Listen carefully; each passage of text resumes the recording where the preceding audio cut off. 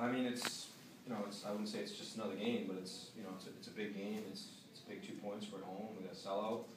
Um, playing a, you know, top five team in the country. And, um, um, you know, it's our league, it's, it's a great league, top to bottom, there were a lot, there were a lot of upsets, but I don't know if it was, I mean, it's, you look at the numbers, but it's early in the season, but that's, that's a really good hockey team. And Charlie Finn's one of the better goalies in the country. And, you know, we got, we got some fortunate bounces tonight. Coach, you guys look particularly emotional out there, uh, a lot of battles, uh, before and after whistles. Uh, you think it's just because it's an ECAC opener? Tell me.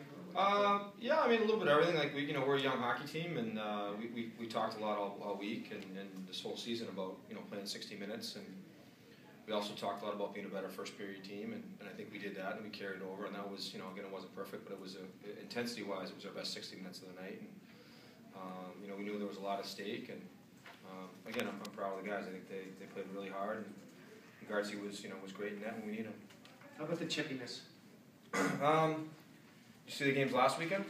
I didn't. It was chippy then. I mean, it's college hockey. You know, I mean, I think college hockey's chippy. It's you know, it's, it's part of the it's part of the process. You play. Um, you don't play as many games as uh, as the pro level, and you know, kids are shot out of a cannon a little bit, and then they're intense, and um, you know, it's part of the game.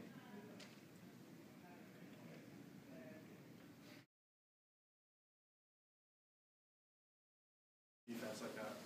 Yeah, I mean, getting off to a good start in any game is important, and especially a good team like Colgate, number four in the country. And I think we we just didn't look back from there. And we, I think tonight was one of the closest we've played to playing a full 60 minutes, and I think that paid dividends to us tonight.